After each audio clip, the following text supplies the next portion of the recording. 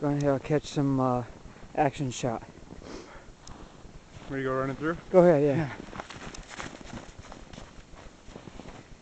Happy Valentine's Day.